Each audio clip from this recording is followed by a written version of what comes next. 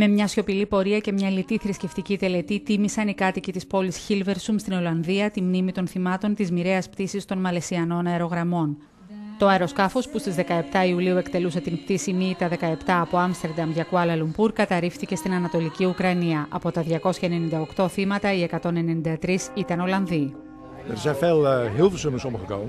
Στο δυστύχημα σκοτώθηκαν πολλοί από το Χίλβερσουμ, γι' αυτό είμαστε εδώ. Σαν πολίτες του Χίλβερσουμ και από σεβασμό στου νεκρούς. Ολόκληρες οικογένειες από την πόλη μας χάθηκαν. Πολλοί νέοι. Έτσι, πολύ απλά, εμείς πρέπει να είμαστε εδώ.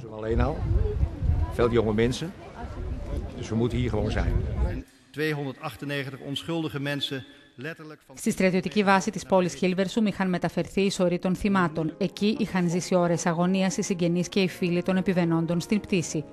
Ένα μήνα μετά αναρωτήθηκαν σιωπηλά γιατί.